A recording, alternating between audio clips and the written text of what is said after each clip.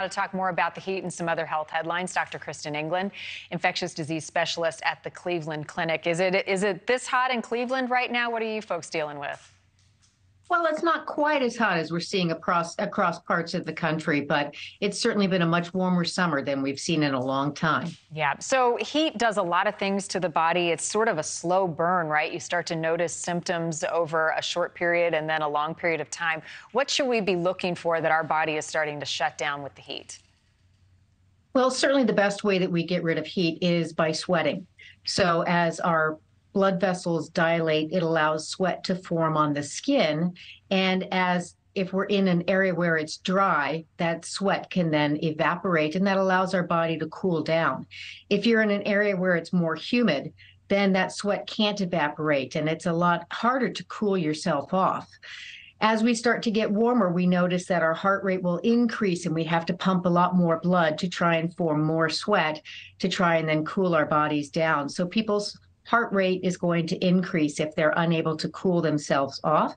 And we're also going to notice that as people sweat more, they're going to get dehydrated. So it, you're going to start to get dizzy when you stand up. So a racing heart and getting dizzy as you're moving positions uh, can certainly be an indication that you're starting to suffer from the heat. Yeah, drink water not only while it's happening, but make sure you're hydrated all the time. The other thing that's happening, doctor, uh, some hospitals in Phoenix are using body bags that are filled with ice for certain people who are having heat stroke or heat-related illnesses.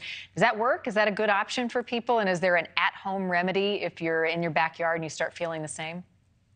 Certainly. I mean, you can take a plastic bag that you get at a grocery store, fill it with ice, and put it in areas where you especially need to cool it down. And that's often a, under the armpits and certainly across the neck and across your head, but and also in the groin area too. But keeping some ice packs around is not a bad idea if you start to feel like you're getting uh, like you're starting to get dizzy or getting some headaches too. Yeah, one guy in Death Valley said temperature of 131. He said it felt like he was standing literally next to a heater just out in the open air. A couple other health headlines I want to get your thoughts on. Uh, Houston health officials have declared a syphilis outbreak.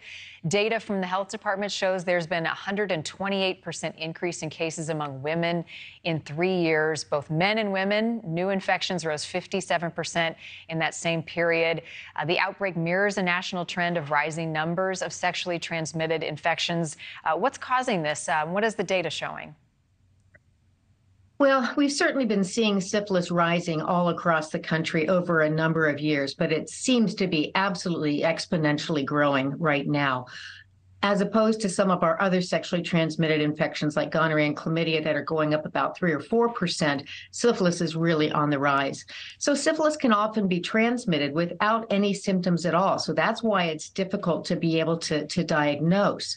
And we worry about it certainly in pregnant women because they can pass that along to their children. So if we're not testing pregnant women right at the beginning of their pregnancy and then also later on in their pregnancies as they continue to get exposed through through sexual encounters, then we might not catch it.